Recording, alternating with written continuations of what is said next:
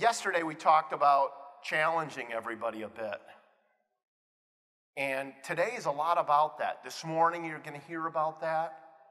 Um, this afternoon, we've got a really special session in the afternoon. Our committee talked at length about it, what we could do. Will, where's is Will in? I think, yeah, Will's right here. He's going to speak a little bit and cue it up this morning. But uh, with the NAFP, the Softwood Lumber Board has been a huge partner and really helped us, and, and Think Wood and all these incredible partners. But you're going to hear from Will, and we're going to talk, um, talk about that. And uh, we're just excited to have Will here and, uh, and being presenting and talking about what it's Forest Proud, but there's a great name. Hashtag Forest Proud, right? I, th- I called it at. I thought that was what it meant, but it's hashtag now. That's cool. So, the other thing that's exciting, and you'll hear from uh, Mayor Ted in a bit, but we're going to be in Portland next year, right here about the same time. So, give it up for this convention center. 2020 is, is being decided, and we're looking for input on that, but, you know, and we're going to decide that in the next 90 days, but um, we're open for input, but we're here next March 2019, and it's going to be bigger and better. And we've already got a lineup of folks coming. So, um, but we're we'd welcome you to any suggestions. So, with that, Bill, are you ready to come on up? We're going to bring Bill Parsons with our. Uh, uh, heading up the Woodworks team, which is a great partner of ours and is doing some incredible things. So bring it up for uh, Bill Parsons. Thanks, Bill.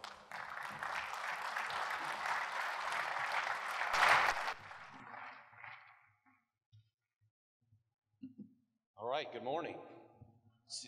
Seems like we've lost a few people. I know what that's about. Conference. All right on. Well, thanks, thanks for having me, and I wanted to share a few thoughts around kind of reflecting on, on day one and, a little bit more around Woodworks and kind of other things going on throughout the rest of the year um, with you all this morning. So, you know, yesterday chatted quite a bit around, you know, let's build some projects. So I think you guys, I, we had a lot of chatter. I know for a fact we had some plans in, the, in, our, um, in our booth, put in a couple extra stories of, of wood on top of a old, old building. So that was a great project we were helping out on.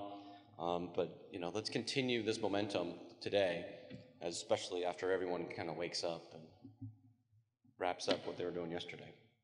So, so Woodworks, you know, we're focused on two things, um, project support and education. So this morning I want to talk a little bit around how we do our education, what other educational events we have kind of coming up.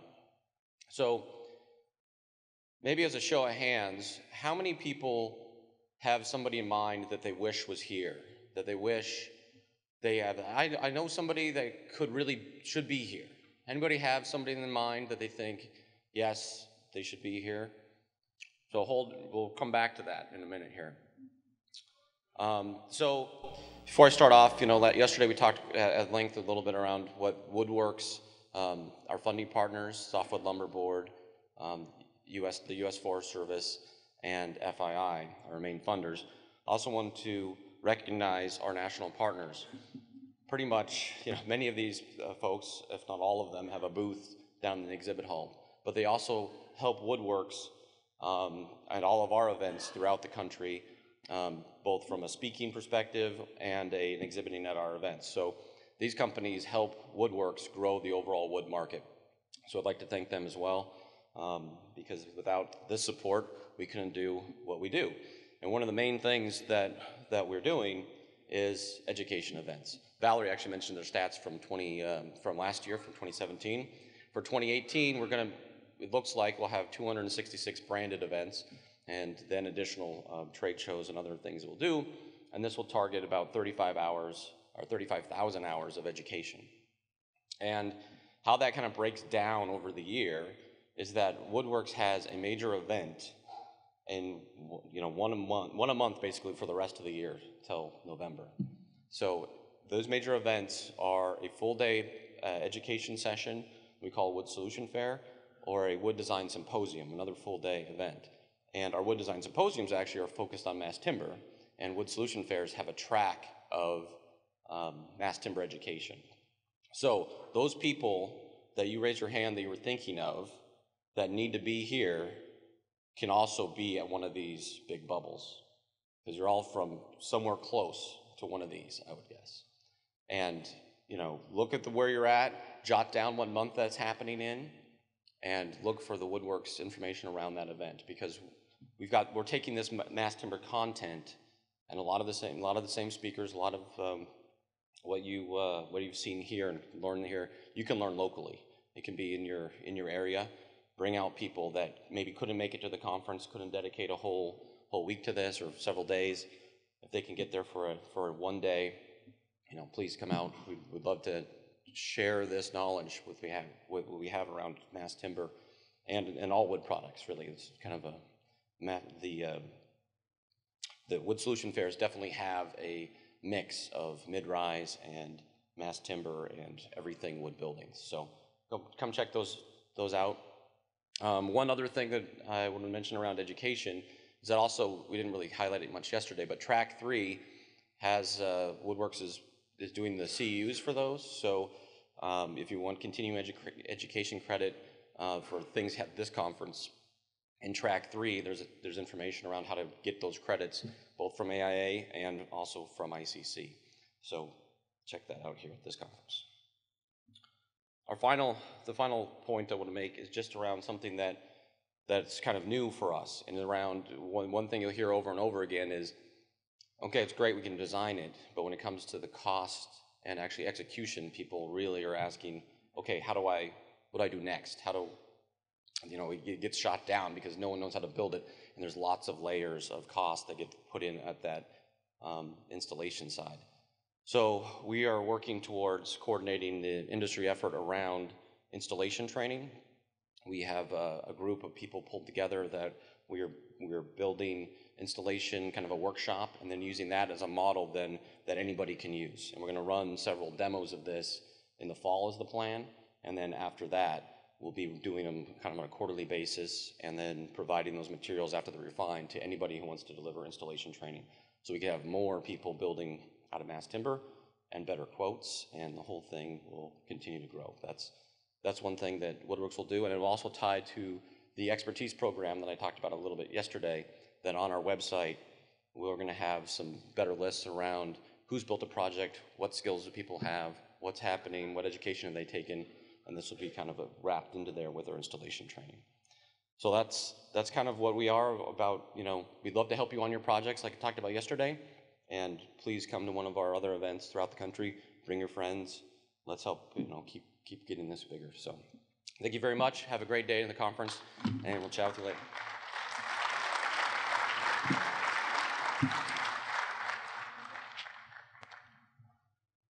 Thank you, Bill. My name is Tom Waddell. I'm with uh, Forest Business Network, and I'm the event manager for this uh, event. And uh, as I said yesterday, for many of you who joined us um, on Wednesday, um, I really very much enjoy working with many of you. I know I get to talk to you with e on email and on the phone, and uh, it's been a great pleasure to work on this event.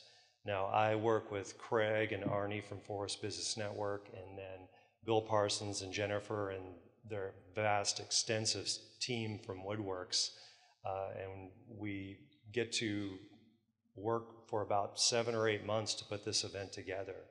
And uh, like I said, it's, uh, it's a great joy for us. So thank you for joining us today. Now, many of you got to eat breakfast here in this other room this morning. Um, keep in mind, if uh, I know uh, some of you are here just for the day, we will have lunch and the breaks actually downstairs in the exhibit hall. So you won't be going into this room, you're going to be downstairs in the exhibit hall, very close to where the educational panels are. Now, if you have any questions, if you have any needs, I know many of you are trying to uh, check in on your flights that are going out this evening or anything like that. We should be able to help you down at the registration desk. We usually have a computer, an extra computer if you need some help there. Um, and uh, please do ask us questions, and we'll do our best to guide you and get you out the door safely. Now, I'd like to take just a little bit uh, to thank two very special groups today. Um, for those who had, who, who had the opportunity to, uh, to come uh, yesterday, you heard me talk about our committee. Uh, we have a steering committee that's usually made up of anywhere from seven to 10 people. It could possibly get larger as we go on. But I thought I might take just a little bit of time to explain what this committee does. Now, when we recruit committee members, we're asking them to meet once a month and they we get on a conference call and we spend about an hour. Usually it extends quite a bit past that usually an hour and a half sometimes two hours. Where we're in, uh, basically putting a little bit of discovery in and trying to decide what we're going to do as far as themes for each of the tracks. And what are the most pressing questions of the day for mass timber manufacturing development building and so on and so forth it's quite a bit of work um, you know, uh, our committee members are very professional. They have a lot. They have a lot of expertise, and uh, what we've found is that they they don't come in and just sit around on us. They they come into work, and they they want to they want to put their uh, their mark on this event. So if you're enjoying the content that you're seeing here today, it is it is because of them. And they're extremely hardworking. They have regular day jobs outside of this conference. And sometimes, you know, uh, Arnie and Craig and I, especially, uh, and I know Bill, Bill's part of our committee, Bill from Woodworks, it's easy to think that they work just for us because they work that hard on this event. And we very much appreciate them. And I wanted to just introduce them here a little bit. Uh, I won't bring them up on stage and make them go through all that again today, but uh, I thought I'd let you at least know who they are and we can give them a big round of applause. So our first committee member in order of, uh, of um, uh, alphabetical order is Ember Bishop Bentley from the Georgia Forestry Foundation. I know uh, I talked to Ember yesterday and uh, she's been able to bring some key folks from Georgia and really trying to push mass timber in that, uh, in that state and we really appreciate her and all her efforts. Brian Brashaw of the uh, U.S. Forest Products Lab. Um, Brian's been involved with Forest Business Network on some level for many, many years, long before the Mass Timber Conference, and uh, he's really been a, a, great friend and colleague and ally of ours. Oscar Farrow, uh, who, of uh, Oscar Farrow and Associates. Uh, Oscar has been with us. Um, Oscar, I can't even remember. I think you're a three-time committee member with us. Um, just been a fantastic ally for us and uh, uh, brought in that initial expertise we needed when we first started this event to really add a lot of credibility to our, our, uh, our uh, educational panels. Pat Layton of Clemson University. Pat's a multi-year committee member for us and uh, as a, as a Southerner myself from Georgia, I was thrilled to death to get Pat on the committee uh, when we did, and uh, she's uh, she's giving me my southern roots, and uh, and they're doing a lot of fantastic research in southern yellow pine and CLT and lots of other things in, involving mass timber at Clemson. And I think uh, Pat was successful in bringing quite a few Clemson students as well to the event. Tim Locke of, uh, of the Oregon Forest Resources Institute. Tim has been with us for multiple years, ever since the beginning of this conference, and he's our our man on the ground, as I like to call him here in Portland. He is instrumental in making sure that our tours actually take place. He's going out and he's meeting with the building owners and architects whenever a new uh, mass timber building comes up around this area. And uh, we really honestly could not do these tours without him. And he provide, also provides considerable input uh, in our meetings each month. Ian McDonald of the Tallwood Design Institute. Uh, Ian's been with us for multiple years now. Um, he's been a, a, um, a, fantastic guy, especially uh, uh, to tap into his knowledge. He was coming out of, uh, I believe it was Vancouver, uh, and has a lot of uh, both Canadian experience and, and U.S. experience to, and input on mass timber that we can use for these, for these panels each day. Nick Milestone of the William Hare Group. Uh, really fortunate and lucky to get Nick. Uh, he had to wake up usually around three or four in the morning, uh, sometimes one in the morning, to get onto our conference calls because he was calling from Singapore at the time. Uh, so uh, Nick's been a, a, a fantastic part of our committee. Bill Parsons, of course, you just met Bill. He came on the stage. He's with Woodworks. Um, Bill, we've been working with Woodworks for multiple years now, and uh, to be quite honest, uh, you know, our track three content is completely produced by them, and they provide the AIA credits and all the accreditation for those panel or those sessions. Uh, and, and Bill's been fantastic to work with. His team are they're on top of things. They're always quick to answer us, and uh, we honestly could not uh, do this conference without these folks. We really appreciate them. Erica Spiritos of uh, Structurlam. Uh, Erica came on for the first time this year. Uh, she provided a lot of great ideas, and we very much appreciated her input. It was, um, uh, and we actually kind of reconfigured our educational panels based on some ideas that she had, so we really appreciate her. And then Jeff Spiritos, who's a multi-year committee member with us. Uh, he's, out of, he's with Spiritos Properties out of New York. Um, Jeff's this uh, amazing individual who's just been a kind of a, a bulldog for us, and he's out there um, constantly refining our content. And uh, like all of our committee members, um, is never really uh, satisfied with just mediocre. He has to have these uh, these panels, and he has to have the content uh, up to his very high level standards, and um, that's why we appreciate this committee so much. Uh, could we give a big round of applause to our committee members?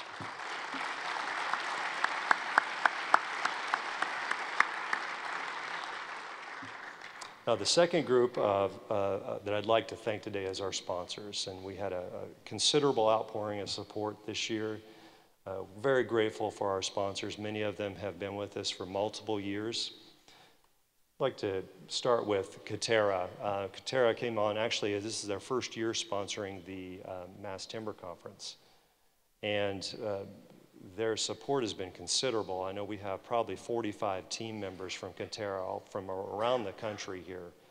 Um, Katerra sponsored our um, welcome reception, which was on Tuesday night. And if you all were here yesterday, they gave away a really cool drone. Uh, so uh, we had one lucky winner here from Portland that got that drone.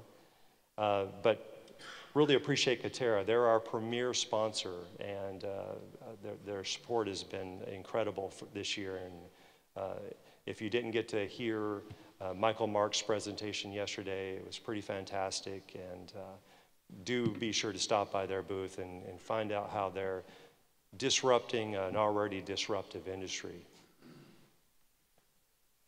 Hexion is our, uh, uh, they're our gold sponsor, and Hexion has been with us since 2016, our very first year with the Mass Timber Conference. Hexion uh, was the very first major sponsor we had uh, for the Mass Timber Conference. They believed in what we were doing, and they said, sign us up. How can we help? And they always bring a considerable amount of team members here. They're fantastic to work with. Uh, if you haven't stopped by their booth, please do. They're fantastic guys. DR Johnson Wood Innovations, uh, um, Valerie and her team have, have, been with us since day one. And they came in this year as actually as a multiple uh, sponsor. They're sponsoring uh, not only the tour number two, which we had on Tuesday, but they're sponsoring uh, track two as well and the educational panels. So thank you to Valerie and her team. ThinkWood. Uh, ThinkWood has been uh, uh, an ally of ours for multiple years, uh, uh, either as sponsors or providing uh, help and input as we needed it. this year, they're a triple sponsor. They're sponsoring our videos, they're sponsoring our poster presentations, and then they also came in as a, um, actually, I'm starting, my, my mind's going blank here. Bear with me here. And they sponsored our event program too. You'll see their advertisement on the back. Um, please do look at their, um, their research library. Uh, they've got a big banner hanging in the exhibit hall, but you can see their advertisement on the back of the event program and give you more information. Be sure to visit that, uh, that web page. Freres Lumber, uh, their mass plywood panels, you all have seen uh, their gigantic sculpture in the middle of the uh, exhibit hall. It's pretty fantastic. Really enjoyed work, working with Tyler and his crew. Uh, many of you who went on tour number two got to actually see their manufacturing plant. They're, they're building the uh, first ever mass plywood panels. Uh, so it's a pretty exciting uh, addition to what is already an exciting uh, industry uh, that we have kicking off here in North America and around the world. Seagate Structures, Seagate's, this is their first year sponsoring with us. They're sponsoring um, track one. Um, and I forgot to mention, actually, Freres is uh, sponsoring uh, uh, track four. I'm sorry, no, take that back. They're our lounge sponsor. But anyway, Seagate is coming in as a, a, a, an educational panel sponsor, and we really appreciate those folks. Sansin, this is their first year with us as a sponsor, and they're sponsoring track three. That's the track that uh, Bill and the Woodworks team are heading up. Thank you very much to the Sansin team. SmartLam. Uh, SmartLam is our uh, Track 4 sponsor. And uh, uh we've been working with the SmartLam crew. Uh, you know, uh, Forest Business Network is based out of Montana. I actually live in Portland, Oregon, but our, most of our team is in Missoula, Montana. SmartLam's out of just north of Missoula. And they've been fantastic partners, and we do a lot of things with them in addition to some extra mass timber events in the state of Montana and really appreciated them uh, coming on as our, our uh, one of our sponsors and this is actually their second year. Sterling, this is their first year as a, as a sponsor with us and they're uh, sponsoring our lanyards, which I'm wearing right now. Thank you very much to the Sterling crew. Tallwood Design Institute, as I mentioned, uh, uh, Ian McDonald, uh, uh, who heads up the Tallwood Design Institute, is on our committee. Uh, they've been uh, a, an event bag sponsor with us. This is our second year, so very much appreciate them and all that they're doing. Stiles is, is with us this year as a sponsor. Very much appreciate everything they've been doing with us. I've gotten to talk with them quite a bit as we planned out this event. Uh, they came on as a tour, uh, uh, a tour sponsor with us this year. Uh, and uh, actually, they were part of the tour number two where we went and visited the Freres lumber plant. And then they were also there to, to speak about some of the machinery and equipment they had there at the, that operation. And then the Oregon, Oregon Forest Resources Institute. I mentioned Tim Locke and all that he does for us on the ground here in Portland. Uh, they've been a fantastic allies ever since day one and uh, uh, really appreciate their team and all that they do for us in this conference and its content. That, uh, that's our list of sponsors. We much, these are our major sponsors. We have many other smaller sponsors throughout this event. Uh, you've seen some of their logos on the exhibit hall floor. You see some of their banners around the exhibit hall. And so we have a lot of support at this event. We appreciate everyone. And could we give a big round of applause for all of our sponsors?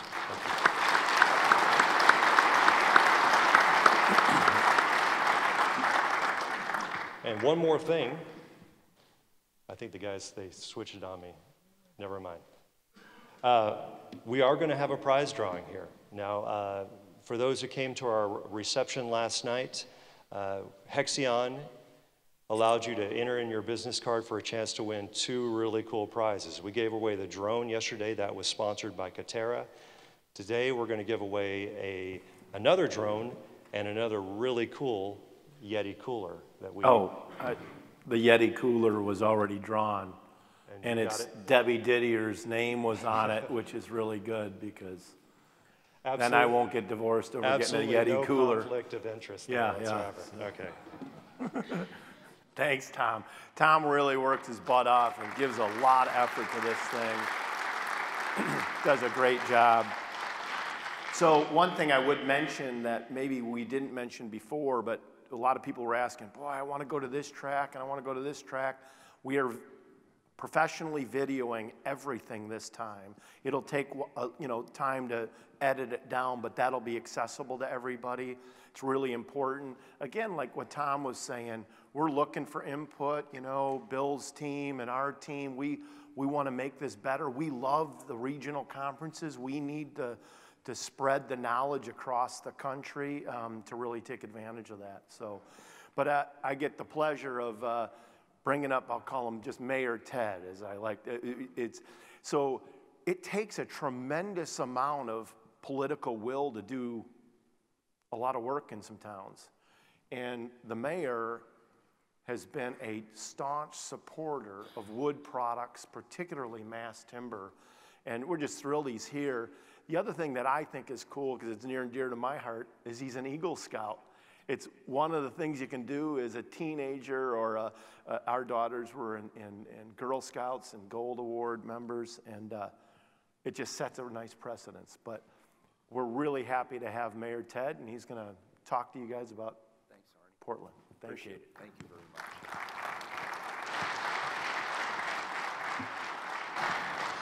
Well, good morning, everyone, and thank you, Arnie. And I guess I should be thanking Debbie perhaps more than anybody else. Uh, thanks for being here today, and welcome to the third annual International Mass Timber Conference. And welcome all of you to Portland, Oregon. As Arnie just said, I am Mayor Ted Wheeler, and I'm fortunate enough to call myself the mayor of this incredible city. So today I was asked to talk a little bit about our state's history, in particular, our connections to timber and what I see as being the science based opportunities for a sustainable future for our forest products industry. And as you can imagine, I'm not an expert on this subject. And part of the excitement of being the mayor of a city is you get to talk to large groups of people who are experts on the subject. And so, what I hope to do today is connect our history and our ethos with some of the great data driven and science based technologies and innovations that you are creating that I think bode extremely well for the timber industry in the years ahead. So, hopefully, while you're here, Arnie isn't working you too hard. I hope you're having a chance to get out of the convention center, and you'll see that we're known for many great things in this community. We're known for our coffee and we're known for our donuts. We are certainly known for our arts and culture. We're known for our sustainability and our interest and concern for the environment. And uh, these are all important things. But when you talk to people today, you're going to hear a lot about livability. If you talk to Portlanders, they'll talk about the, the, the, proximity to nature, they'll talk about air quality, they'll talk about water quality, they'll talk about the importance of livability. And the truth is, this is sort of one of Portland's dirty little secrets. We have not always scored very high on the measures of livability. We started our experience after the arrival of the American pioneers as a truly rough and tumble timber town. We're located at the confluence of two major waterways, the Willamette River and the Columbia River. And as you can imagine, these waterways provided for the transportation of goods, and the timber industry played a very significant role in our early economy. In fact, long before Portland was Portland, an early nickname for our town was Stumptown, just by virtue of the fact that there was so much clear cutting going on in order to make way for the development.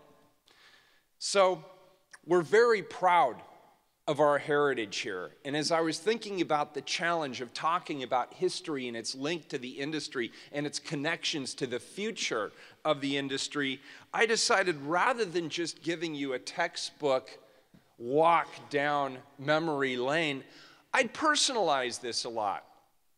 Because we all have our stories and we're all proud of those stories. And I thought I'd tell you a little bit about that. But think about the heritage that we have here, of which we're justifiably proud.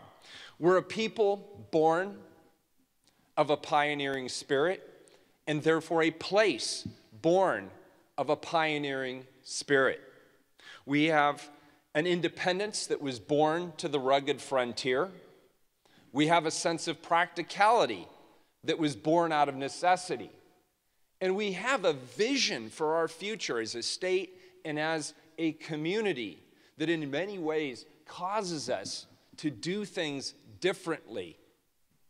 We all, as I say, have our stories, and uh, mine is not terribly unique, as it turns out, in this community, but I like talking about it anyway, so I'll share it with you. My great, great, great grandfather came to Oregon as part of the Great Migration. He arrived here in 1852 from the Oregon Trail, and he came with his 21 year old son. His son's name was John Kearns. He was a school teacher. They came here together and they arrived from Indiana, and they didn't know anything about how to start life here in the state of Oregon. But one thing that was very, very clear, we know from the historical record, they saw Oregon as a land nearly boundless with economic opportunity.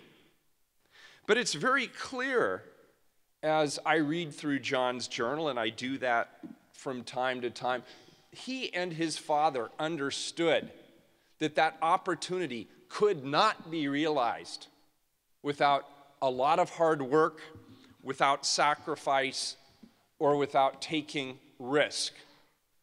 Why do I mention this?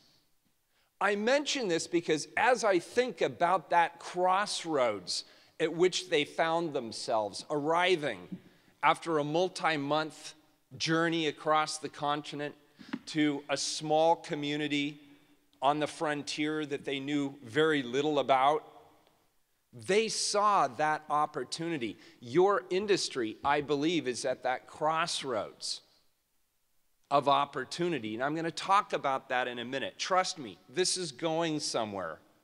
This is why we're all here today. So, continuing the story, John, the logger, formerly a grade school teacher, did what a lot of young men did back then. There weren't a lot of jobs here. Uh, so uh, the great opportunity was in logging.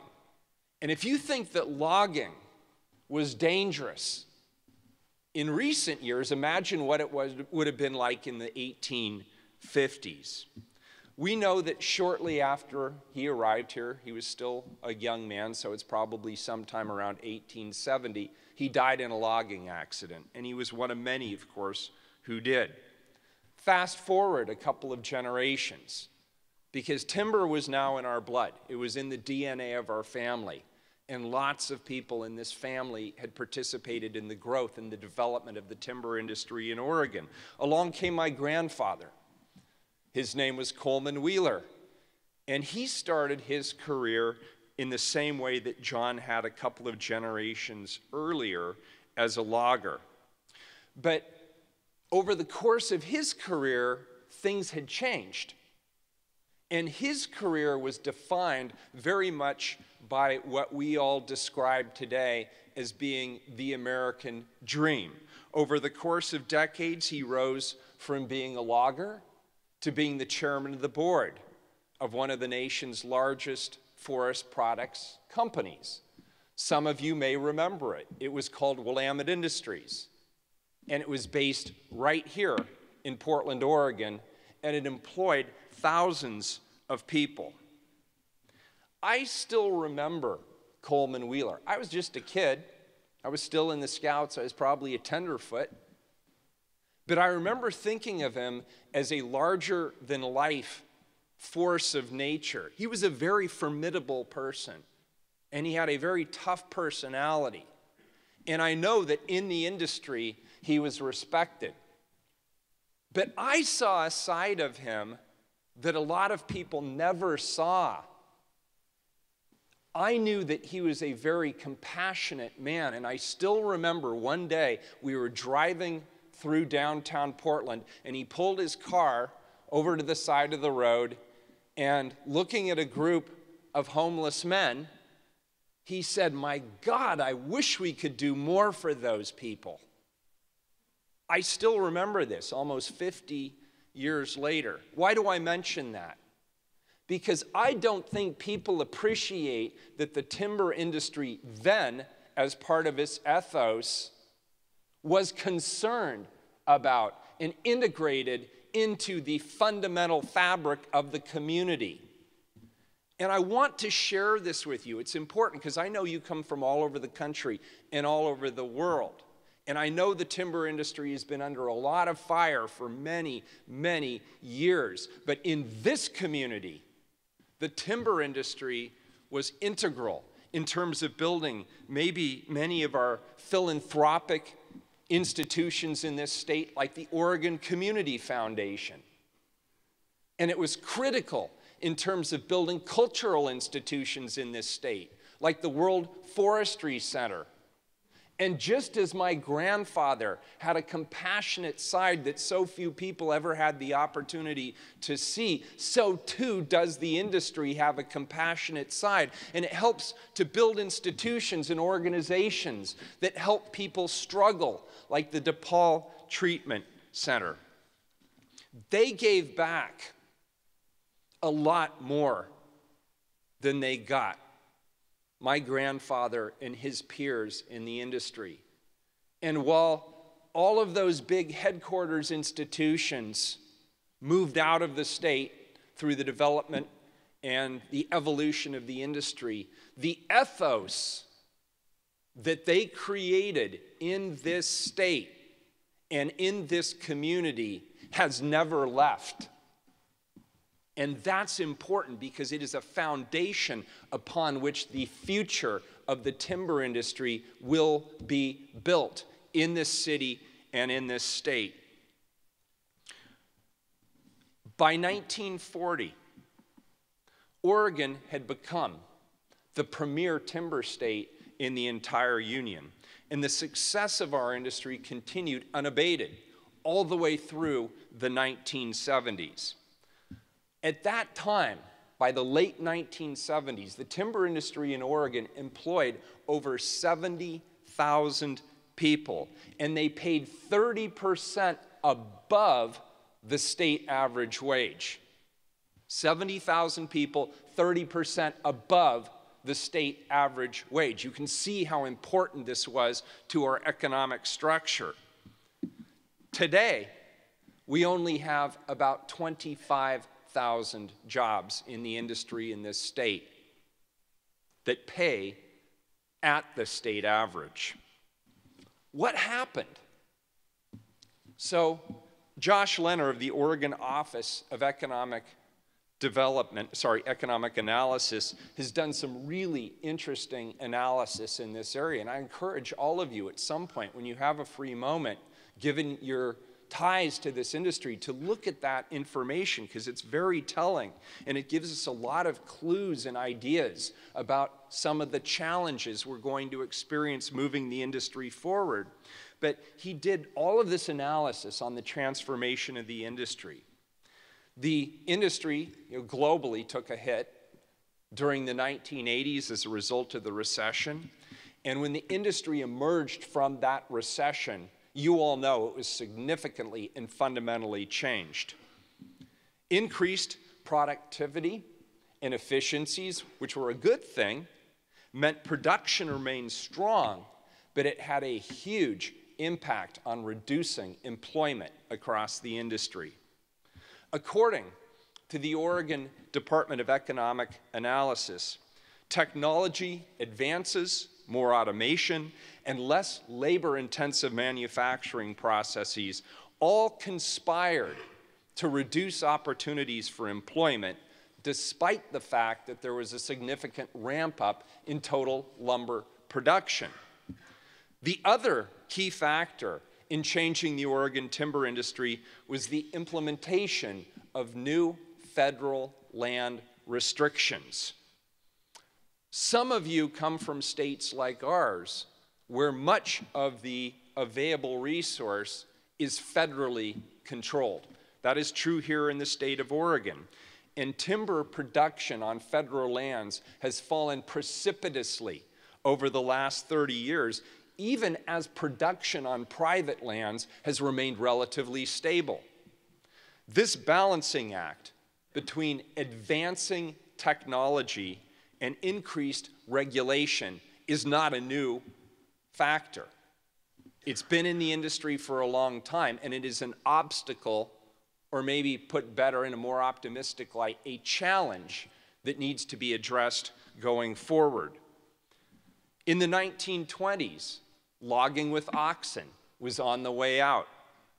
Technology was increasing, making it easier and more cost effective to cut large swaths of trees. The technology.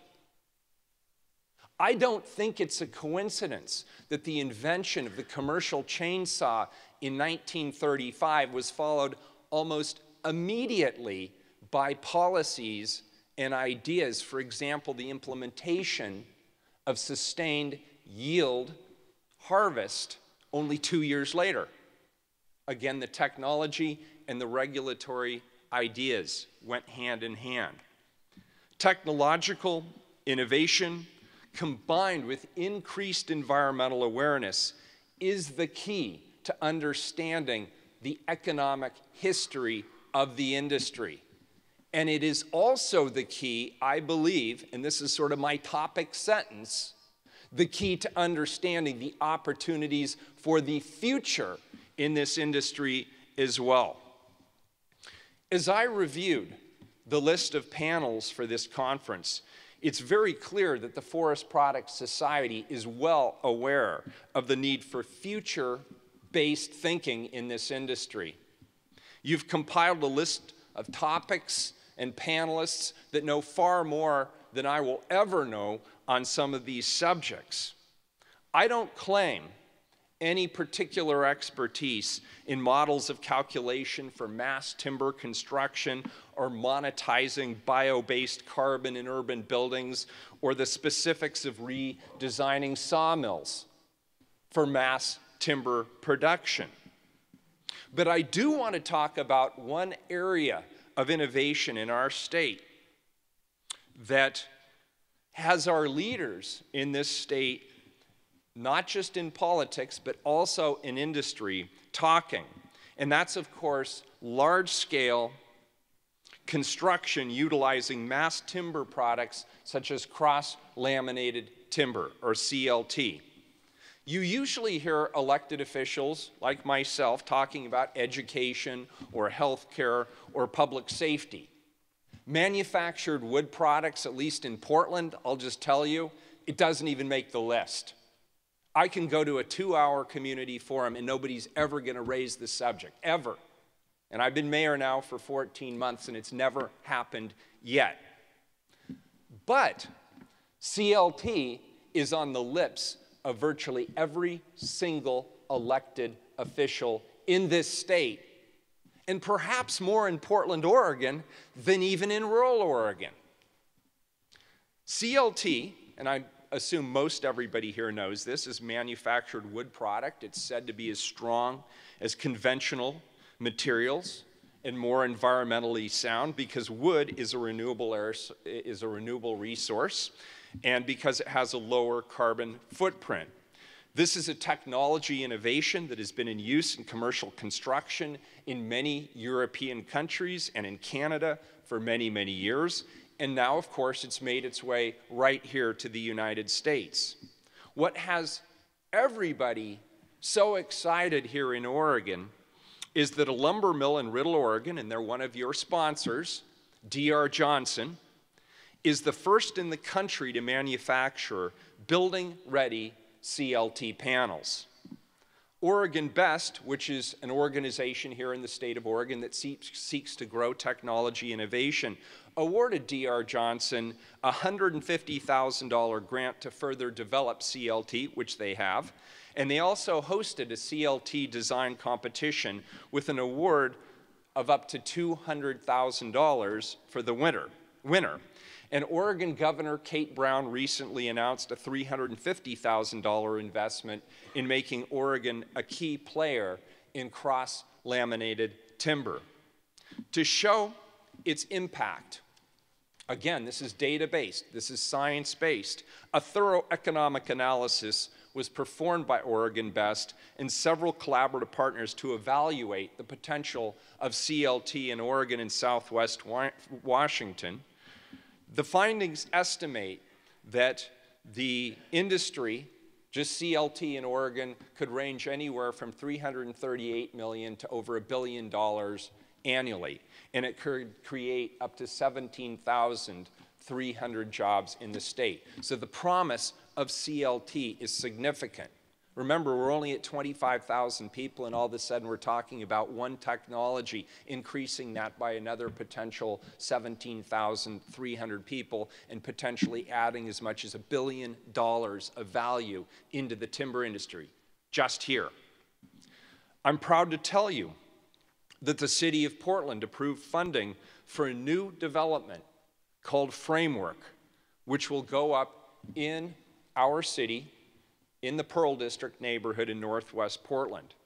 Framework will be the first high rise structure in the U.S. made from wood, built with CLT, in addition to being innovative earthquake resilient building.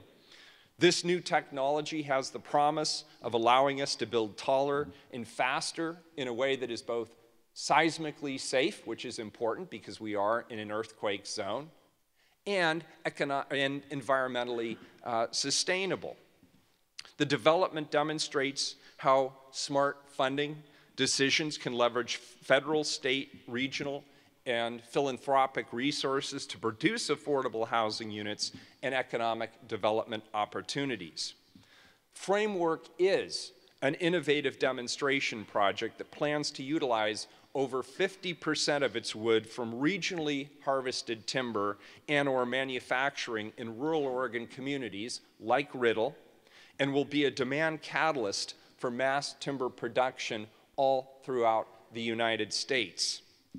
The goal is to demonstrate a path for creation of tall wood buildings in America, thereby unlocking the demand for new timber and manufacturing jobs and investment in mass timber production. Furthermore, we put our own little Portland twist on this. The housing units in the framework building are intended to be affordable for 99 years, made possible in part by upfront investments in quality materials and sustainable technology. So we have suddenly taken a timber innovation and we've put it right in the heart of Portland, Oregon, which is a community, as I said, with an ethos around environmental protection and sustainability, and we have made it uniquely about the needs of Portland in terms of sustainability, environmental resilience, earthquake resilience, and concern about the cost of housing in our community. So, CLT and other mass production, timber production provides a much needed boost here in Portland, but it also will obviously help the rural economy. And it present, prevents, presents an opportunity to showcase Oregon's ability to sustainably manage and harvest forests in a way such that everyone benefits. We cannot talk about buildings like Framework or about CLT without also talking about the future of this industry. And I want to dwell just for a moment on sustainable harvesting. If we want to keep our forests healthy, and I know everybody in this room absolutely does, it's one of the main reasons we're here, then it's essential to sustainably manage them. And as new technologies like CLT come online, we're going to see more and more conversations about sustainable har harvesting methods used in the production of CLT. And I want to be very clear uh, framework has not been without controversy in Portland. There was the cost because it is a new technology. There will be an overall cost that will be greater than a conventional steel and concrete building. And there is the question that environmentalists will continually to rightly ask, which is, okay, if you're saying this is an environmentally sustainable construction project, where are you getting the wood? And how do you know that it is responsibly grown and harvested? So you're going to see more and more conversations about sustainable harvesting methods. Shifting gears slightly, we had a massive fire in Oregon this last summer, and it made headlines around the world. Some of you may remember the fire in the Columbia River Gorge scenic area. It was a massive fire that threatened to destroy the entire scenic area, which, by the way, happens to be one of the top tourist attractions in the state of Oregon.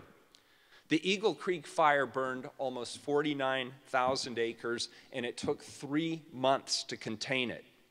The fire was horrific in terms of the families displaced and the lives threatened, but it also served as a reminder to all of us in Oregon and Washington about the importance of land to all of us. We've fallen in love with our forests in this state through hiking, through biking, through camping. When people talk about why they moved to Portland or why they moved to Oregon, they often mention the proximity to the forests as the number one reason that they chose to locate here in the state of Oregon. So, this is another reason why we have to double down on technologies like the framework building. Obama administration Secretary of Agriculture Tom Vilsack said of the building, by embracing the benefits of wood as a sustainable building material, these demonstration projects, like Framework, have the ability to help change the face of our communities, mitigate climate change and support jobs in rural America. I want to pause here for just one moment. This isn't just another building material. This has the opportunity, as Secretary Vilsack said, to helping us solve some of our community's key challenges around development, around sustainability, around climate change, around employment in rural parts of America. That's what's at stake here. That's what you've come here to discuss. It's not about this material versus that material. You're here, if I could sort of use a cheesy analogy, you're like my grandfather and you've pulled over to the curb and you're looking at the community and you're saying, wow, how can I use the resources and the innovation and the technology that I've got to fix this and this and this and this? That's what's at stake here. And that's why this conference continues to grow every year. And that's why the kinds of people who attend this conference continue to get broader and more diverse in terms of their areas of expertise and their connections to the timber industry and these new innovations. There's no surprise that Framework has received a whole litany of prizes and awards and recognitions. I won't go through all of them, but as diverse as the U.S. Tall Building, uh, Tall Wood Building Prize, the Architects Newspaper Best of Design uh, in Research, uh, a LafargeHolcim Foundation Prize for Sustainable Design, uh, funding from Home Forward, which is a, an affordable housing group, Memorial, Meyer Memorial Trust, which is a foundation, the Hewlett Foundation, the United States Forest Service, our Metro Regional Government, uh, Harbourton Foundation, Edwards Mother Earth Foundation, the Oregon Community Foundation, and the list goes on for another half a page. It's captured the imagination of nearly everyone. It's easy to understand the excitement of CLT in Oregon, given our historical identification with the timber industry and the challenges faced by the industry and our desire to be both economically vibrant and environmentally sustainable. So, in conclusion, here's what I want to say The challenges are significant, but I have never stood on a stage at any forest products related conference in my 12 ish years in elected life. I have never stood on a stage with higher hopes and expectations about the future of the timber industry.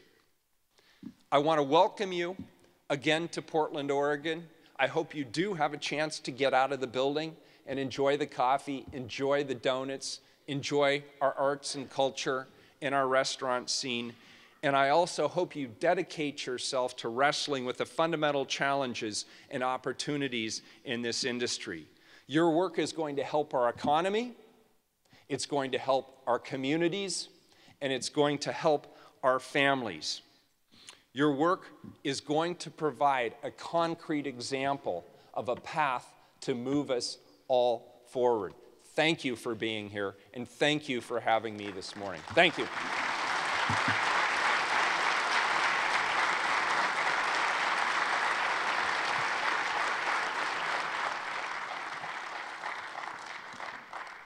So, Mayor Ted is a stud, man. He is awesome.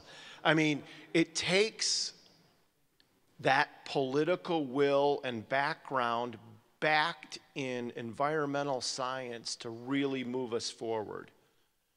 And, you know, the Forest Service and the Softwood Lumber Board and uh, Think Wood and just all these partners stepping up to bring us together as an organization and a community of mass timber has really taken us to the next level.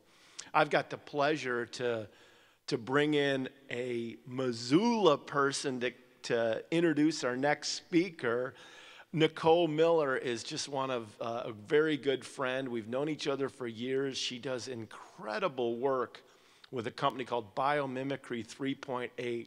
If you haven't seen some of their work, you're going to hear a little bit more about it at the ending panel. This ending panel is going to rock the place. Nicole brings together a tremendous amount of information and really cool technological breakthroughs that are derived from 3.8 million years of nature. And, but she's going to bring up, and uh, she's known Bill for a lot of years, so I'm going to bring up Nicole to introduce our next keynote speaker. So thanks and welcome, Nicole.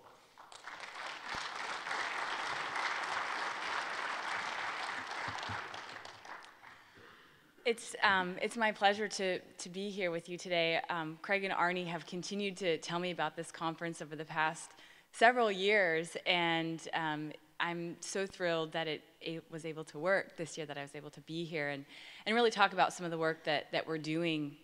Um, it is my pleasure to be introducing Bill Browning as the uh, keynote speaker here this morning. Um, Bill has really been a leading force in the green building movement and biophilic design. And biophilic design, this notion of, of bringing nature into our building spaces, has been really gaining popularity over the past decade. But it's Bill and his work uh, with biophilic design and his work with you know, Fortune 500 companies, um, NGOs, governments, cities, it, this work that has really been the force behind biophilic design being named a top trend for 2017 and 2018 by the architecture and design community. My firm has had the pleasure of working with Bill on some kind of forward thinking projects to apply this thinking that our buildings can perform at the same level as the forest next door. This notion that that we can gain building performance metrics that are derived from the forest next door and that our buildings can perform at the same level and produce ecosystem services at the same level as the forest next door. This vision that our buildings and our cities are producing ecosystem services on par with the forests that surround us is, is really what we think is true sustainability, right? When our buildings and our cities function this way, when they're functionally un, indistinguishable from the forest next door, we've reached true sustainability. Bill's going to talk a little bit about this work um, in, his, in his talk this morning, as well as some of the trends and, and work that he's been driving with biophilic design. Um, Bill is a founding member of the, of the USGBC Board of Directors, and when you look at his resume of the boards that he serves on, it's really a, a who's who uh, in, in the industry and who is, and organizations that have made a profound impact on green building and sustainable design. Bill continues to push the envelope with his work on what is possible, and in fact, today we'll be sharing a really exciting announcement with us about um, a, a current project that he has started. So please help me in welcome Bill Browning to the stage.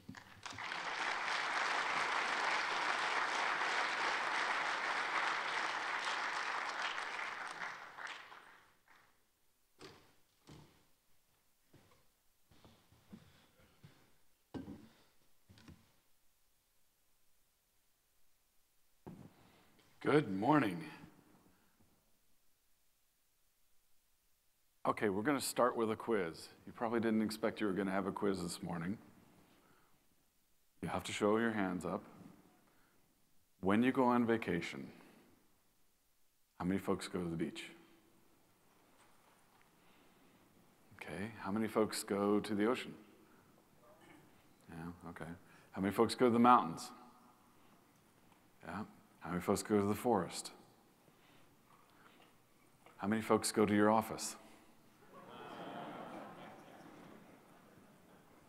That's a legitimate question. Where do we spend the vast majority of our time? But what do we get when we go to those incredible environments? We get restored, we get refreshed, we recreate. Recreation, recreate.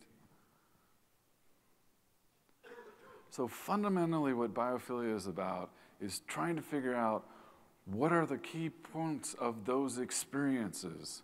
How does that impact me, not just psychologically, but physiologically? And I can measure that in all kinds of different ways heart rate, blood pressure, even cortisol, stress hormone. So let's bring those qualities into the built environment. Um, so Terrapin's a little research and consulting firm. Uh, we work in several different fields, um, two of which we're going to talk about today. One is biophilia, and others large scale biomimicry. But first, let's talk about the biophilia stuff. Why is it we look at certain spaces and go, ooh, that's beautiful, right? Can't you just imagine sitting in that room with that view, and that experience? Or even sometimes an office building. Right? We look at this space and go, that's really beautiful. It's a raw, unfurnished office space. How often do you sort of have that reaction to a raw, unfinished office space? You look at this space and go, I could be there. So, fundamentally, what's underneath that response is this concept of biophilia. So the term comes from the social psychologist Erich Fromm, uh, but it really didn't get any traction until a book written by uh, Ed Wilson at Harvard, E.O. Wilson, the biologist at Harvard, called the biophilia hypothesis. And so this is the working definition that you typically see uh, for biophilia. And there's gaining and gaining science coming out of healthcare, coming out of neuroscience, coming out of environmental psychology that looks at how this impacts people physiologically and psychologically. And so the, um, the work, a lot of the work in the United States started in hospitals looking at healing rates of patients who had a view to nature.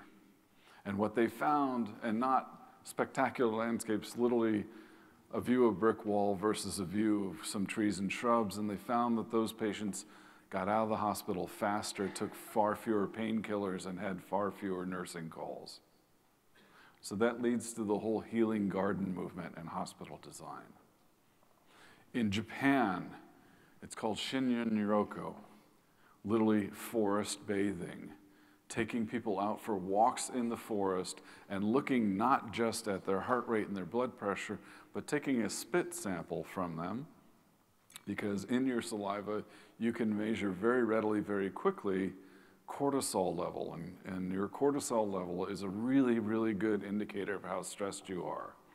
And so they take people out for a walk in the forest or a walk on a busy urban street, and they measure the differential. and no surprise, when they get done for that walk, there's a significant difference between the experience on that urban street and the experience in that forest.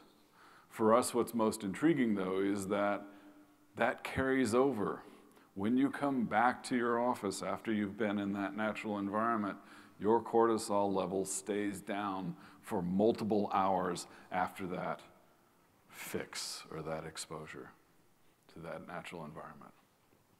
But what we're finding is that the, um, all these different experiences and all this different science kind of leads to three different categories or three sort of big buckets of how you can parse out these experiences into design of buildings and spaces. The first is nature in the space. And so these are direct experiences of nature in the built environment. The second are natural analogs. And that's what we're going to focus a lot on today. Natural analogs are the use of natural materials, biomorphic forms, and fractals and complex ordered systems. And those lead to some really, really interesting responses in the brain. And then the third um, is the nature of the space. And these are the three dimensional spatial characteristics of, a, of an experience. So, within all of this, um, how many folks are architects here? Or home builders? Okay. So, in the design and construction industry, there's a long tradition of what are called pattern languages. Um, they've been, pattern languages have been used in, particularly in home building, since the late 1700s. And so we developed from the science a pattern language of them. You don't have to memorize them. I've got cards for folks. Uh, you can take home or you can go to our website and download uh, publications on these. But we're going to look at a couple of these today that are particularly important where wood plays a major role. And that's in material connection to nature. So there's a branch of neuroscience called visual preferencing, and it's literally looking at what are things that we look at and why do we prefer looking at some stuff than, than other stuff. And one of the things that we've learned really interesting in work by Beauchamp and others is that without us thinking, the brain looks at something, say something moving, and says, that's alive and that's a machine. And it processes those two things in a very different, different place. And it does it sometimes with materials as well. So it may be one of those reasons why you see that beautiful flower arrangement and you walk up and you touch it and you discover that it's plastic and you go, because the brain has already told you that's alive and you got faked out and you don't like that. Now, Wood is particularly intriguing because we're not quite sure why there's such a strong preference for wood. When we've talked to some neuroscientists, particularly some uh, guy named uh, friend of ours, Ed Vessel at NYU, is doing some work around this. Ed says, we don't know, quite know why people like wood so much. It may be one of two things. First is what the neuroscientists and the semantics call semantic content. I see wood and the brain goes, wood, tree, alive. Therefore, it's alive, so that's good. We like that. It might be that, or it might be another impact that's actually equally in, uh, intriguing, and that is something that the brain does in processing fractals. So, fractals are self repeating patterns at scale. Classic examples are snowflakes, right? boom, boom, boom. Or think about the bracts on a fern, right? That's the same shape that repeats at multiple scales within that. Wood grain does that as well. But it's intriguing because it also isn't the same every time. And so if I have a surface full of a bunch of pieces of wood, they're similar, but no two are ever exactly alike. And the brain finds that fascinating. It elicits a really strong dopamine response in the brain. It's a pleasure response. We like looking at wood. Now, to give you another example of fractals that we get fascinated by, what will you do in your living room on a cold winter night? What will you stare at for hours? Right? What are you seeing? You're seeing these little dancing fractals of various scales, and they're moving around. Now, there's no rational reason why I should spend hours staring at a fireplace. But when you watch what's going on in the brain, as one of our friends, uh, neuroscientist friends says, you're sucker punched. All these little pleasure centers in the brain are going, oh, look at that, look at that, look at that, look at that. It's a really strong response. And so wood is one of those materials. Some stone elicits that response as well. But in terms of material, wood elicits that response more than anything else.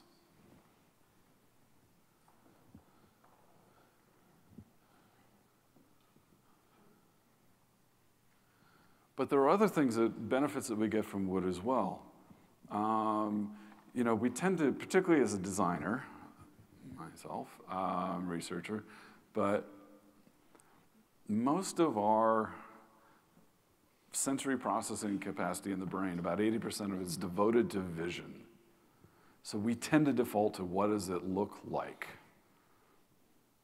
But we've got a bunch of other senses. Actually, more than just five senses. We've got a bunch of others proprioception, spatial orientation, thermal. So wood does something that's really interesting, particularly when you get into the whole research around thermal perception. The way that wood as a surface feels, both haptically, particularly when we feel, can, can feel the grain in it and all of that, is really, really different. It elicits, if I can get touch and vision together, if I can even, you know, some woods, I can smell the wood, right? The Japanese love using hinoki and it's interesting because the scents coming out of Hinoki actually change the uh, immune system response. And that's some of the work that's coming out of Japan and the forest bathing and out of research in Korea is looking at how the experience and the smell of the wood impacts your immune response in a very beneficial way. So wood allows us to get at these other things, and one of these is alliesthesia, is the perception and comfort both spatially across the body and in time. Wood also has that fractal characteristic, and so it elicits this response in the complexity and order. Um, you see the beautiful wood grains, and it gives you a complexity and order that's really nice, but not too much, because complexity and order is a bit like the Goldilocks pattern. Um, and so a good example of that is Here's the, uh, what's called a fractal gasket. You see one, two, three iterations of that. When I get to that third iteration, that's sort of the preferred one. If I take that to the fourth or fifth iteration, now it's getting a little too confusing. So it's really kind of a Goldilocks thing. Now, what you'll see in traditional and ancient architecture, particularly rendered in wood, uh, worldwide, in, particularly in religious architectures, you tend to see third order fractals all over the place. Unfortunately, in modern architecture, we rarely get beyond the first order fractal. So it's one of the reasons why a lot of people have a sort of innate response to a lot of modern architecture and just find it boring. And that's because in the brain's response, when it's only first order fractals or not even first order fractals all over the place, the brain looks at it and goes, ugh, where's the excitement there, right? So it may be one of the reasons why uh, buildings like this, which are beautiful wood structures rife with third order fractals, we find gorgeous and fascinating. So let's give an example why this might be important. Let's think about a million square foot building filled with, over the course of the year, several million really stressed out people. Right?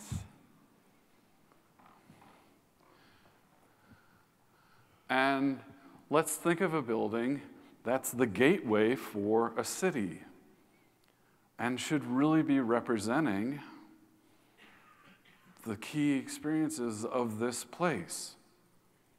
And let's think of a building that needs to be reconstructed because, quite frankly, some of the original core structure is not going to do too well in a Richter 9 earthquake.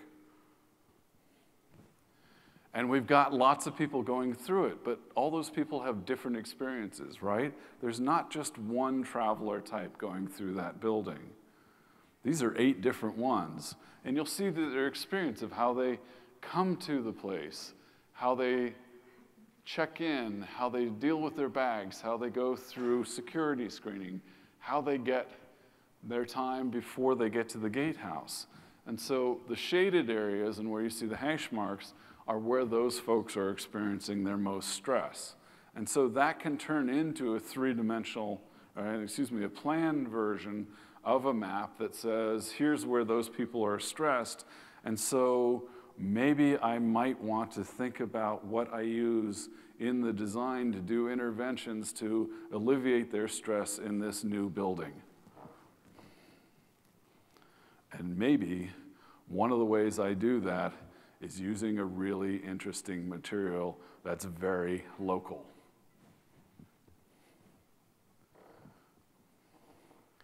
So another context for thinking about that, though, is um, what's the impact of using those materials? I could do that structure out of concrete, like the existing structure. I could do it out of steel. I could do it out of mass timber. So let's look at some of the implications of it. And this is an emerging way of thinking about um, how do we deal with buildings that's sort of beyond LEED and some of these other ratings, and it's asking some fundamental questions about place. And so I'll start this story with, a, uh, with two things. One is a project that happened a few blocks away from here that was done by the city of Portland and Mithun and it's called Lloyd Crossing Study. And it was a study asking this really simple question of, could, as this precinct gets built out, could it move to a carbon balance and a water balance similar to what it was when it was intact forest? That helped inspire us in this project of dealing with this uh, behemoth in New York City. This is the Empire State Building laying on its side. It's the same volume as the Empire State Building, built at the same time. It was built by the Port Authority of New York as a warehousing and sorting building to get trucks and trains off the streets. And so trucks and trains came into this building. The trucks were put on elevators the size of my apartment. and four of those that moved up and down through the building, and then the trucks drove around inside the building uh, made deliveries, and then got on another elevator and were taken down out of the building. So that activity ended in the 1980s. A client of ours bought this building. It also happened, and it was in, at that time, Chelsea was a pretty nasty place, but it happened to also be where fiber came into Manhattan. And so they put 16 different data centers, almost a million square feet of data centers into this building, and each one had their own independent systems, and you can kind of see that represented on the roof. That roof, the wedding cake roof, is the Museum of Mechanical Systems. Every possible way of cooling and mechanical systems is demonstrated on that roof. And our client came to us and said, We've got several issues we want you to look at. The first is data centers want to expand, and there's no more space on the roof to do that for cooling systems. Two, we have the biggest energy bill in New York $53 million of electricity a year. I think we might want to do something about that. And third, there's kind of this weird thing going on with our water. We buy 51 million gallons of water a year and we put 90 million gallons of water into the sewer. And we know kind of something about basic physics that doesn't quite math on that doesn't quite work. So we've been doing work with the Wildlife Conservation Society uh, in a project called Mannahatta, which is a remapping of New, of New York back to the ecosystems at the point of European contact. And so you can type in your address and find out what the ecosystem on that site was. And what we discovered through that process was this was a forest with a stream originating in the middle of our site. And those three sump pumps in the lowest portion of the building that are pumping all the time, that are pumping this clean, beautiful, fresh water into the sewer, 45 million gallons of water a year,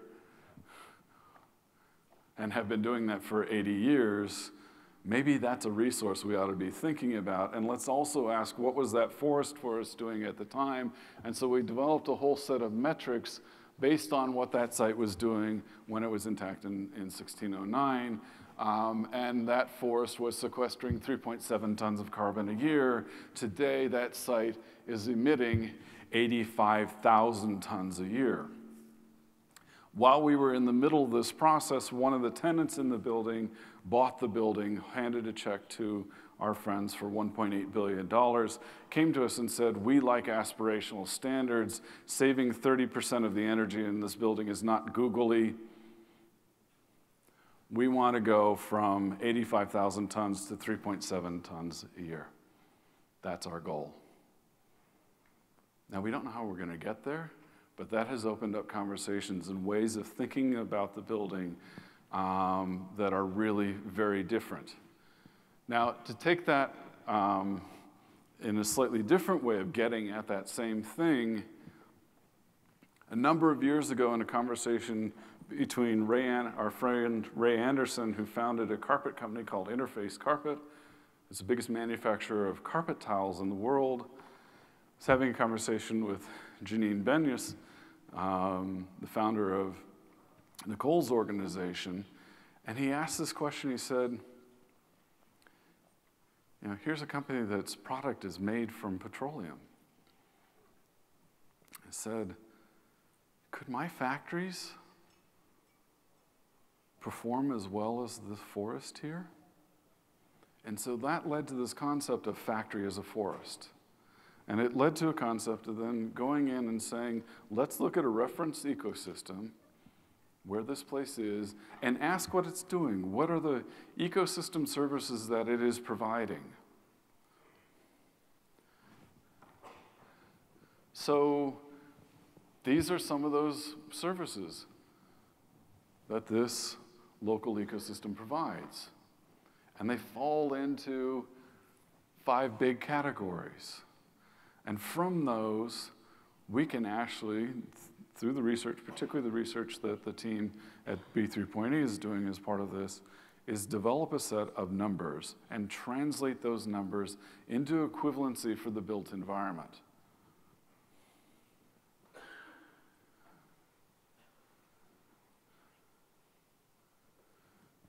And use those numbers then as a set of guideposts for long term thinking about how we do construction, how we do operations on these facilities. So it's not just getting to net zero energy, it's thinking about what's the fabric of the building itself. And as I'm expanding these buildings and as I'm thinking about operations, what am I making them out? Because it's not just about sequestering product, carbon into my carpet tiles and lowering carbon in my operations and that, it's how I fundamentally build. And so we see other folks doing this. This, you know, sure everyone here knows this building T3. It's a great example, but they've done some really great uh, process in doing measurements around that. So if I were going to build a really large building here and make it out of a local material, it would become really important to get it right. And so this is some fantastic work that part of this design team has been doing. Uh, so the design team is uh, led by ZGF. Uh, this is work by Arup, uh, and looking at what are the carbon implications of doing a structure that is 400 feet by 1,000 feet and making it out of different materials. Now, what you will see is that we are definitely better than steel and concrete.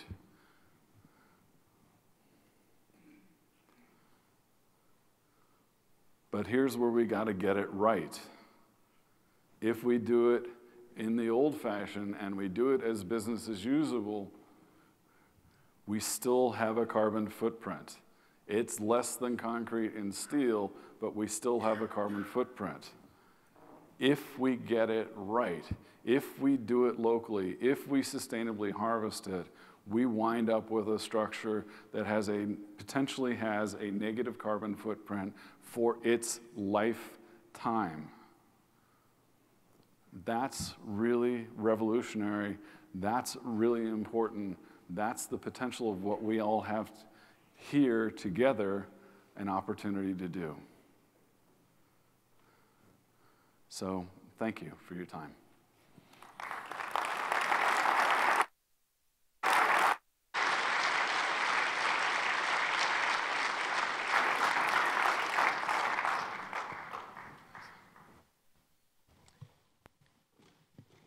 Thanks, Bill. So, hats off to the committee and the FBN team, um, but really thankful for Bill to, to come aboard. I mean, we're trying to look at some things differently. Our panels are filled with a, filled with a lot of really awesome things going forward. We got a couple other things that we're going to share with you here just to get you thinking, to challenge you to come together as a community. You heard Mayor Ted, you heard this incredible project that's going to happen here locally with uh, that's really big and really cool.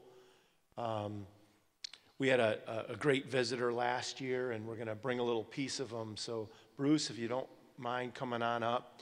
Bruce Ward has uh, been dedicated to the environment for his entire career. He's done a lot of really awesome things. He's going to once again talk about our friend Chuck Leavell, who's a huge supporter of mass timber and the forest products. But with that, welcome, Bruce Ward.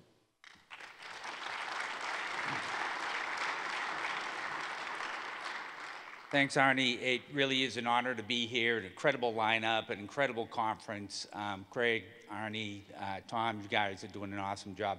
So another pop quiz. How many of you know who, who Chuck Leavell is? How many of you know uh, the Allman Brothers, Rolling Stones? So that's Chuck. Chuck is a keyboardist for the Rolling Stones, the Allman Brothers, Eric Clapton, um, and that's how a lot of people know him. But that's not how I know him. Um, I know him because of his passion for the outdoors. I know him because of his passion around sustainable forestry. And I know that like many of us, there's a concern, and I think that the mayor did a good job of articulating this evolution of thought about how at one time Portland, you know, was the center of environmental opposition to the timber industry. And, and actually coming here, I had heard that there was going to be a demonstration. And I kind of had this vision of what those, you know, newsreels were like. And then when we got here, there was this really friendly guy calling himself the Lorax. And um, he essentially greeted me, and you know, I told him I was coming in here, and there was not the same kind of antagonism or animosity. I think this industry has come a long way in demonstrating the importance of the utilization of wood, and in many respects has overcome a lot of those uh, issues. So I've been running nonprofit organizations, primarily conservation, recreation, for the last 25 years. So my supporters have been the North Face, REI, Coleman, companies like that. And now, as I look around this room, a lot of the supporters, you know, that I have, it's everybody from um, Vaagen Brothers. Russ Vaagen's been a supporter for a long time. Uh, Frères have recently come on as a supporter of one of our initiatives where we bring a 80-foot Christmas tree. It'll come from the Willamette this year to Washington, D.C., and we'll um, set it up on the west lawn of the Capitol, and we'll talk about the importance of timber and, and, uh, and about our forests and about recreation on our forests. And, you know, there, there's so many others. Uh, the, the Softwood Lumber Board has been a big supporter. Sierra Pacific really came on recently as a, uh, a supporter. We've been working with the North American Forest Partnership. Will's doing an awesome job bringing the industry together. So what I'd like to do is show a, a brief clip from uh, Chuck. He would have loved to have been here, and he told me, Bruce, I'd be, but Mick called, and um, I'm going to Europe and playing with a band. So this was kind of a hard choice for him uh, to not be here today, but uh, Jeremy, if you could just roll that clip real quick of uh, Chuck Leavell, I'd appreciate it.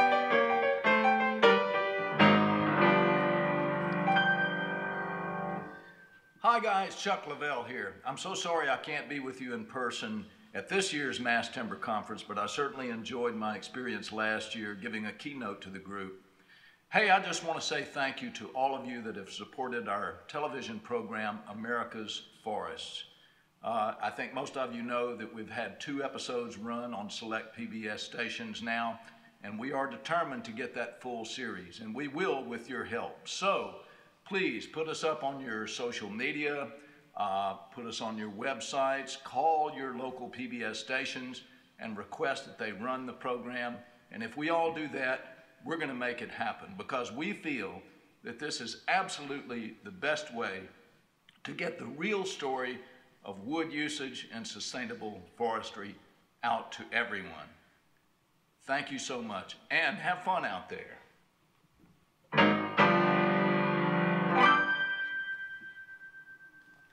So there's Chuck, and you really couldn't have a more um, passionate individual who has a very different take on this industry, you know, similar to myself. I came to this, you know, I'll call it the rest of the story. The men, many of you remember Paul Harvey. He used to talk about the rest of the story. So how does this come about? A guy who spends his life in outdoor recreation, hooking up with a guy like Chuck Leavell, and putting together a TV series. You know, for me, it became very apparent. I live in Colorado, and I had been evacuated from my house three times. I lived in that wildland urban interface. I had been, you know, subjected to the mountain pine beetle epidemic from the standpoint that I couldn't go camp where I like to go or hike where I like to go because of all this massive insect infestation. And I was back in Washington, D.C. with the Undersecretary of Agriculture, Harris Sherman at the time, and he was from Colorado. There was a little bit of a Colorado mafia back in D.C. in the Obama administration. And, and, you know, he said, Bruce, I appreciate what you're doing on the recreation front, but what we really need is a greater involvement by the, uh, you know, by industry in dealing with this and also helping to create a better understanding in the general public of what we're faced with. You know, it wasn't just dead trees and I couldn't go hiking. It had water. There were water quality issues. There were issues associated with these catastrophic wildfires and I started to go to meetings with a lot of the timber industry folks and government officials and members of the environmental community. And it became very apparent to me that it's the work that you're all doing, the work that you're doing to promote the utilization of wood and sustainable forestry that will help us deal with these issues. And it, it, it's something that, you know, in all honesty, my friends, my tribe, as we refer to it, say, Bruce, you sold out to the timber industry.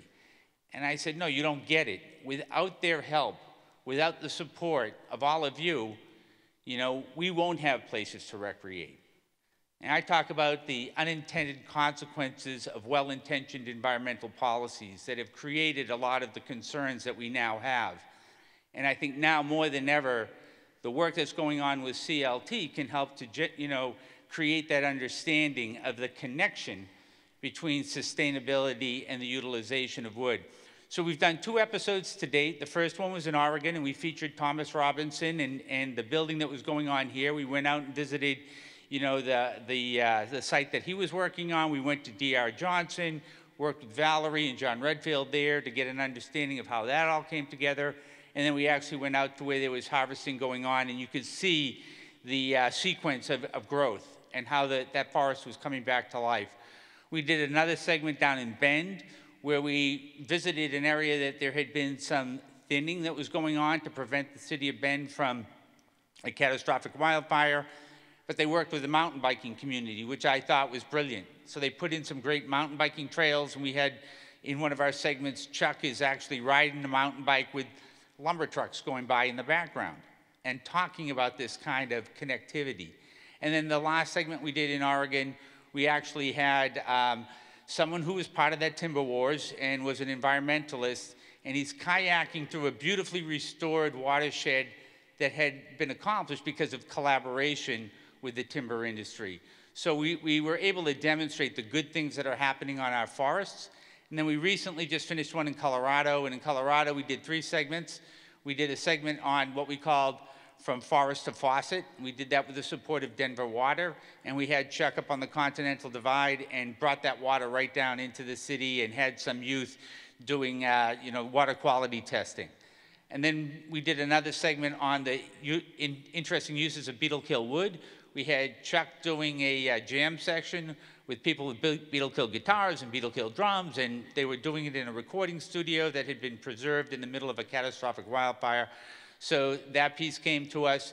And then we did another segment on the therapeutic values of our forest, and we brought, uh, we brought Chuck to a project called Project Healing Waters, where we were bringing retire, re returning veterans and helping them to, you know, reestablish their lives here through the therapeutic value of, of being in the woods. So we envision several more of these coming up. We just got uh, the accreditation from the National Educational Television Association, so this will be up on, this can be put up on all 360 PBS stations around the country. We're looking for great stories. I know there's a million of them. Um, Steve Marshall has probably given me about 50 um, just since I've been here. So thank you very much for having us and greatly appreciate your, your time.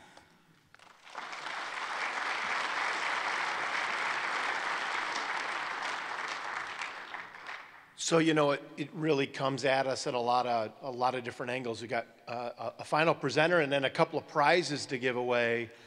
But um, Will Will's going to come up and um, talk about this ending panel that we're having today. That I really encourage you to come. I know it's at the end of the day at 3:30.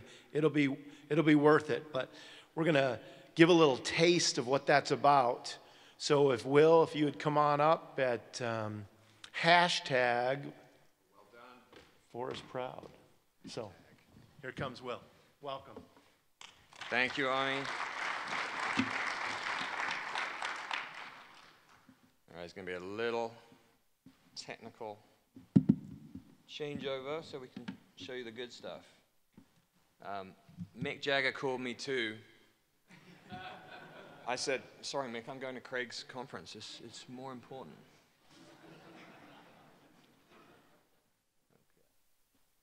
So uh, raise your hands if you like a challenge. Okay, and, and, we're in the Mass Timber Conference. I would expect every hand in the room to go up because uh, I think you're in, you're in a, a challenging phase of what you want to do. So I want to talk to you about two challenges today. One is a significant one, and it's what uh, Forest Proud, the North American Forest Partnership, is all about. And, and so that's a pretty big challenge. I think that's like a five, 10 year ongoing challenge for everybody in this room, actually. I think you're all involved in that challenge. And then I have a challenge for everybody in this room again, which is this afternoon when you really want to just, you know, go and drink some of that great beer. Uh, you're completely jacked on three days of caffeine, uh, or you're trying to run to the airport and you know it's getting late. We have the graveyard session, right? So so Craig called me and said, I have a, as part of your big challenge, I have a small challenge for you.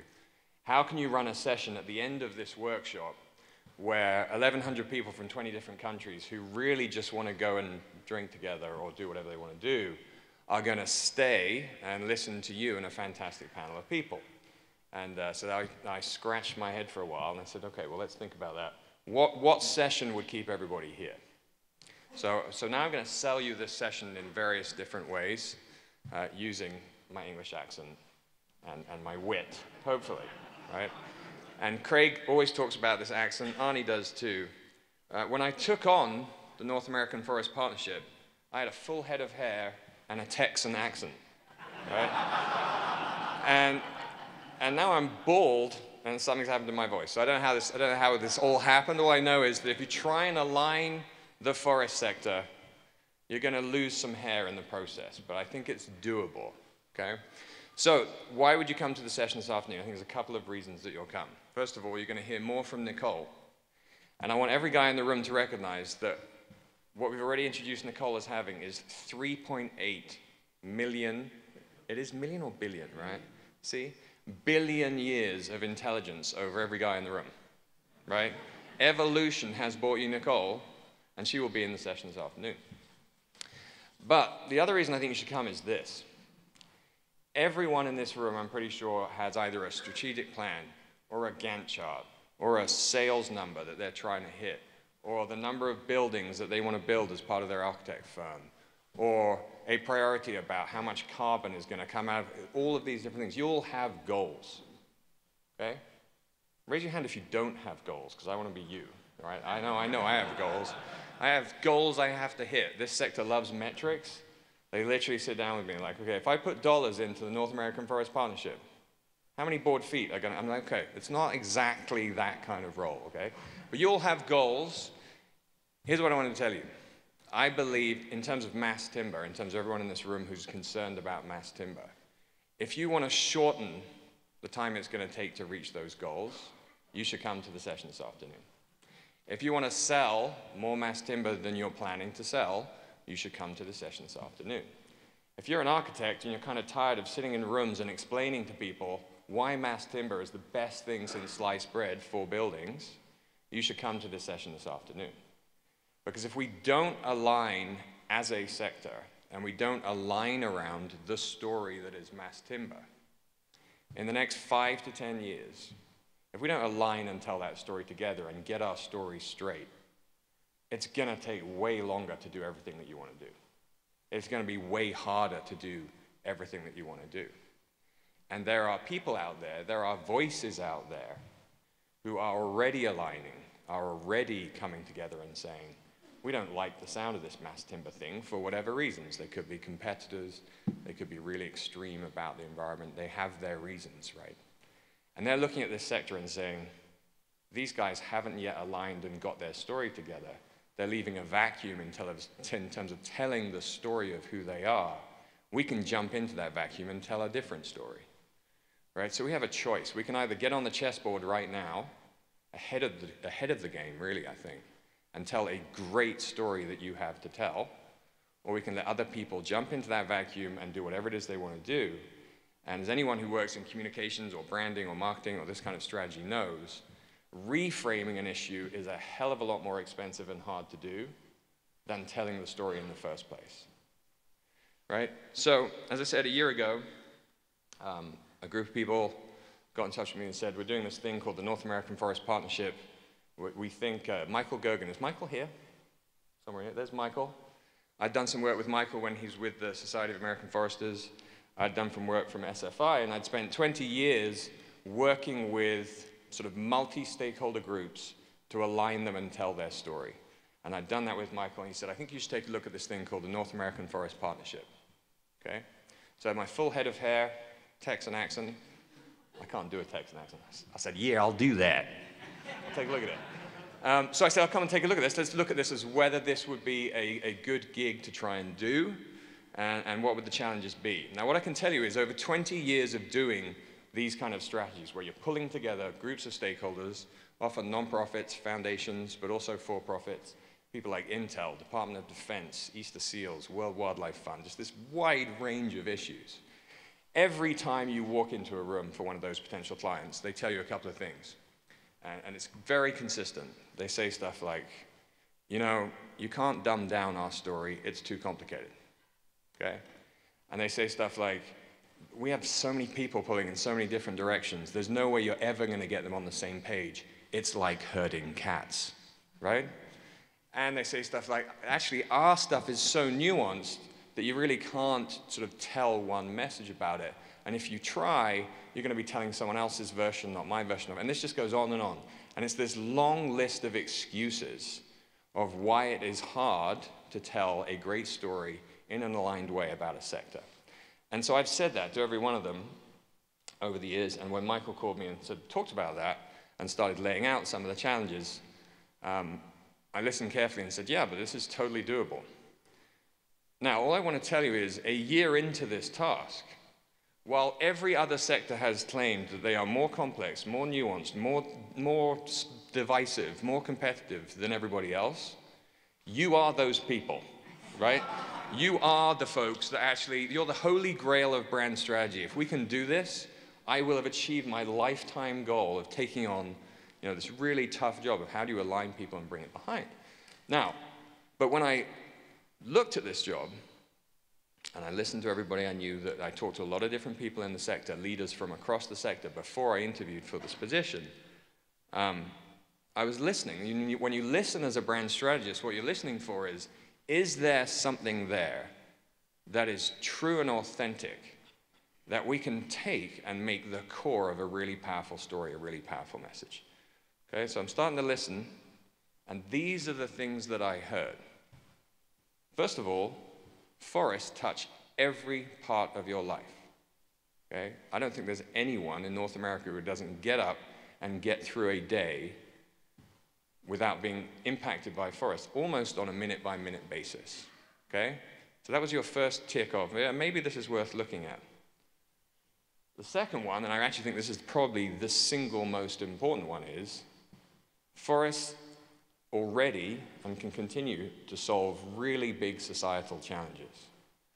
All sorts of challenges that we're dealing with. We've mentioned a whole bunch of them already today. How do we deal with the urban rural divide? How do we deal with rural unemployment? How do we deal with wildfire? How do we deal with climate change? How do we deal with all this long list of things that we see in the news every day and we know people are truly worried about and should be? Well, forests can solve a whole bunch of them if we get our, get our job right. The solutions are rooted in forest management. Right? And, and what we know, what I know from all the research we've done at the North American Forest Partnership and all the research I've seen, is that when you basically ask the general public about forests or trees, they have two things in their head. One is Bambi running through kind of a Disneyland gorgeous environment, and the other is a clear cut. Right? Those are the two ends of the spectrum that they think about. But in between those two is the world that we all know is out there and the, the forest that we're managing, this spectrum of forests, manage to meet different benefits and objectives. And that's forest management. So the solutions are rooted in forest management. And if we can start to tell that story, uh, I believe we can take people a very long way and really build the trust and support we need for the sector. And then what we want to tell them is that requires a lot of people. It's all the people in this room, it's all the people in this sector, this community. They need to be trusted to do their part, to play their role. And quite frankly, what we also know is right now you're not. And I think um, Bruce was absolutely right to say we're way more trusted than we were.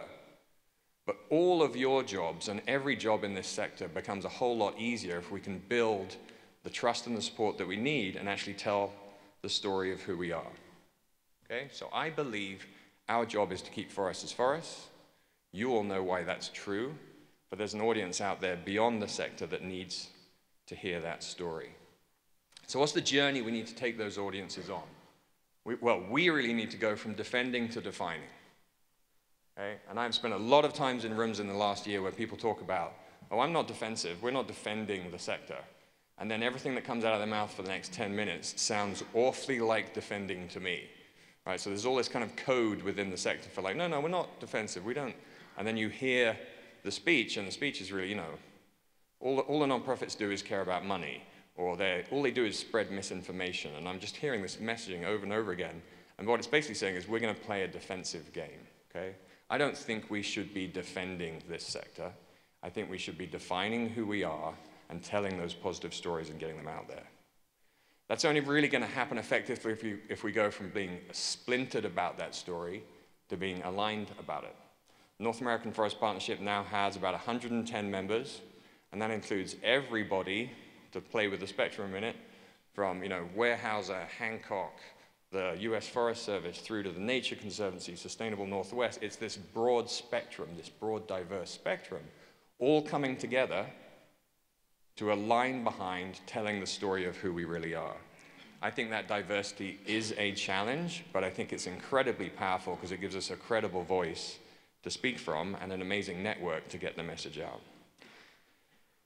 So we want to go from this kind of Paul Bunyan image, which is how people out in the public, you know, everybody, there's a few plaid shirts in this room, but basically, you know, people walking past you think everyone in here is wearing a plaid shirt. Um, so how do we go from that image that we have to be being seen as responsible, innovative stewards? That's the identity that we deserve and the identity that we need. How do we go from this cutting trees business to the fact that we're addressing societal challenges? So how do we tell that forest management story? It's really about a whole set of diverse forests instead of one. And what we know, and I think this is the worst piece of misinformation out there in terms of North American forests, is that people believe deforestation is a huge problem in North America. If you look at the research, it's very, very high numbers in terms of that belief, uh, when really we're doing an incredible job keeping our forests as forests. So, what's the best tool that we have available to do that? And it's already come up this morning in various contexts but it's telling stories, right? And telling the whole story of the sector instead of this very narrow story. And why are stories so important? And, and some of you came to the hashtag Forest Proud North American Forest Partnership event that was here in Portland um, in November. And we did a number of sessions looking at storytelling and why storytelling is so important. Um, but what I know is that if you work in board feet or you think, you know, think if, if an Excel spreadsheet is your best friend, you don't like this part of my speech, right? You're like, no, it's about the facts. I'm just going to put more facts out there. And in fact, if I had a fire hose full of facts, I would point it at someone and just turn that sucker on. And I really don't understand why that doesn't work, right? And you just love the facts. And I sit down with you, and you talk to me about North American Forest Partnership, and you say, in Forest Proud, you say, yeah, but I need to see the numbers, Well, I need to see those numbers. I'm like, yes, the numbers are coming. But first, we have to get the stories out there to create those numbers. Now, if you don't believe that stories are important, or you think numbers are really, really important, I want you to just think briefly about two things. If you have a spouse or a partner, did you draw up a sheet of pros and cons before you ended up with them? Run a spreadsheet. Now compare the answer from that spreadsheet to who you're with. That's what I'm, you know, I don't want to go any further than that, but I don't think that happened because you ran a spreadsheet. Uh, look at the house you live in. I know you set out with a, an amount of money you were going to spend and some choices about what that house was going to be. And now look at where you're actually living and, and the house that you chose, right? You made emotional decisions about those two things. You made an emotional decision and then you rationalized the decision. That's what the science tells us. And there's no science going in the other direction. No one's coming out and saying people use facts to, to make decisions. All the science is showing us that people use stories to understand facts and they use them to rationalize those decisions. So that's how you let the facts in. You have to tell a story. Stories are how we retain information. And most importantly, for everyone in this room, if you're working in mass timber, this is what you need to understand most about stories. Stories are how humans navigate from where they are now to where they want to be. Okay? You, we all, it's the only way you're going to change anything in your life or for your kids or for your, whoever it is, is if you create a story in your mind of where you want to go. So this, the session this afternoon is about that. It is about what is the story that we're going to tell people that will align them behind mass timber, and what are the key elements of that story. And we have a panel of great folks. Tom Robinson's there. Uh, we have uh, Nicole's going to be there, a whole group of people to talk about what are the elements that we need to tell in that story if we're going to tell, bring people with us. North American Forest Partnership, 110 members. I would like the 1,100 people in this room to also be members, okay? And, and what I want you to do is recognize that coming on board and joining us, whether that means just sharing the content coming out at hashtag ForestProud, forestproud.org, or being a partner in the North American Forest Partnership, what we want to do is make your jobs easier. Okay? Whatever it is you're selling, whatever it is you're doing, by building trust and support for the sector, by filling that, filling that vacuum with the story of the sector and who we really are and aligning people behind that story, every piece of marketing that you want to do gets easier because people start to change their perceptions, start to change the story in the mind of who the sector is. We're doing that by targeting three audiences. Uh, the first we call ambassadors, and that is folks who have serious reach, often on social media, but not just on social media, to do a great job of telling our story. So we're identifying the top ambassadors, the top influencers that can use this content to get that story out. The second one is workforce. And our second audience, workforce, there's two things we're trying to do with workforce. One is build pride, note the name, Forest Proud, build pride within the workforce so that everyone who works for you and with you can be a better ambassador for the sector.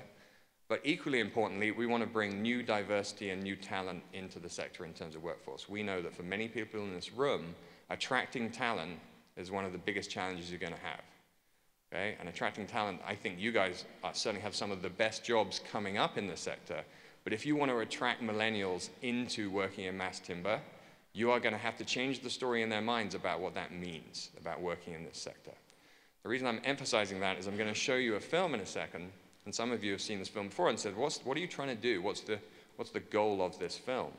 The goal of this film is that, to put it in real simple terms, if you're a millennial looking at this, uh, looking at the sector as a potential place to work, we want to change the story in your mind. We want to create that excitement about working on the sector. And when I briefed the guys who shot and produced this film, and they said, what, how does this work? What is it you want it to do?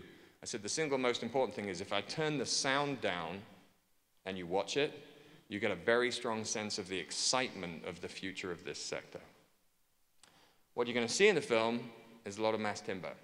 This was not you know, was that a deliberate choice? Absolutely.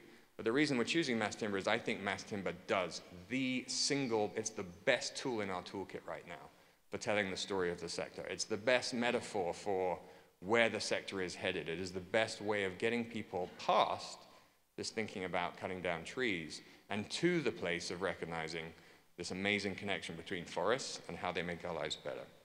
So with that, I will just ask you, I'm going to play this and then and we'll end I think we're ending this session, right? Moving on. Um, but I'm going to play the film. I'm going to ask you to come to the session this afternoon. And I'm really going to challenge you. I started this by saying, Do you like a challenge? And most people raise their hands. The challenge I want to leave you with today is this if you don't care about communications and you think everything I said about storytelling isn't true, you still have a profound responsibility to tell the story of this sector, to help us do that. So I want you to do that by sharing our content at Forest Proud, by getting behind Bruce's project. Every single person in this can get behind uh, telling our story more effectively. Every one of you should have a shopping list that you're coming to Forest Proud with and saying, I need you to tell my story, help me do that. Um, this is the first showing of this film, so we're releasing this today to this community. I'm excited to um, hear from any of you, your feedback on it. Um, and come join us at Forest Proud in the North American Forest Partnership uh, to do this job of telling our story really well. Good to see you. Hi, Thomas. Good, yeah. good to see you too. Yeah. Ready? Take one, Mark. Ah! The place I want to start is this idea that there is almost a limitless possibility for how these materials can get used. It's a material that we have a lot of history with. And so I'm wondering if we can start by what excites you both about working with wood. Sure. Uh, you know, I was I was really interested to hear you talking before, Shannon, about the idea that um, you can make almost anything from forest products. It's just a question of time and will. That's one of the things that gets me really excited about using forest products. With time and pressure, we can simulate so many of these things that we have from fossil fuels. We can replace some of these more damaging materials right. and use forests to actually make something to make exactly. people's lives better.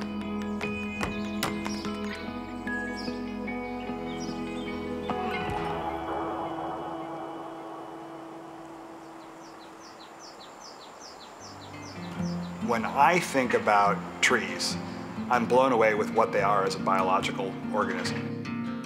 Wood's like the original carbon fiber, you know, it's got all the same properties and it's such a strong material to work with. The idea that we can make perfume from forest products. We can make anything from wood. Pulp and paper production. Supercapacitors. Jet fuel. We're building a first high-rise building in the United States you know, out of wood. As long as we're willing and open minded to try new things with it, it's a forgiving and malleable and strong enough material to evolve with our ideas. Whenever we talk about new products or innovative products, we are facing a lot of challenges. And what is exciting to me is, is facing those challenges. You become more innovative and uh, you come up with new ideas. And the thing that is really hard, I think, for the average person is when they look at a forest, they love it. I mean, who doesn't like to go for a walk in the woods and just enjoy being in nature? It's just spiritual. But when we harvest trees, you know, unfortunately, it's not pretty for the first couple of years. And that's a tough thing for people to see. But we focus so much on that one act of cutting, and we never focus on the 50 or 80 or 100 years that it took us to grow the forest in the first place. Think more people are understanding that if you don't manage the forests in some way, it becomes a real problem. And you can sort of see that playing out in the massive forest fires that we've had happening. These forests need to sort of be managed to stay healthy. Managing that forest in a way that it's going to be there for future generations, that also has the, the least damaging environmental impact is, is important.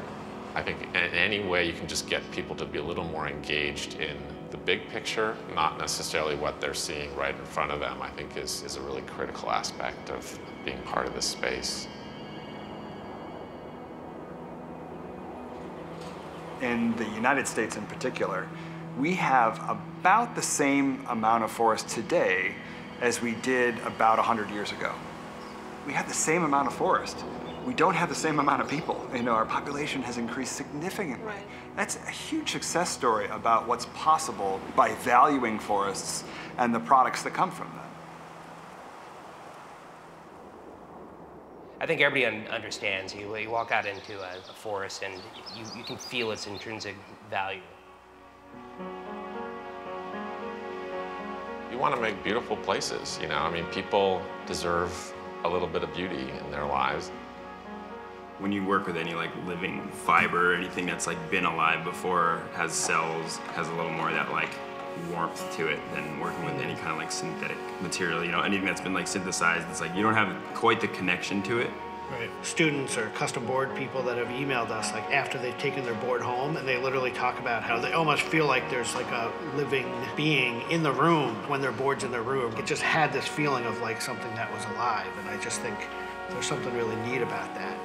One of the things that gets me excited about building out of wood is that people have a um, an innate kind of direct connection to it. So I think there is a relationship between us as human beings and this material that was also a living thing. Shabnam, from your experience, you know, you're around a lot more forest than, than you ever were before. Yes. What's that been like for you? I, I, see the beauty of forest, uh, the beauty of using forestry products. So uh, I always say that when someone says, why you think tree is important, just look up. When you look up, you see the value of tree and I believe uh, it's a future. This industry has been around for a long time, and the next wave for forest products is going to be one that's going to capture people's imaginations about what's possible with this incredible biology that we have. We benefit from forests in the air that we breathe, the water that we drink, uh, the enjoyment of being in nature, and what's really exciting to me for this next generation, because we've done a good job of stewarding forests, they will have the chance to discover that forest.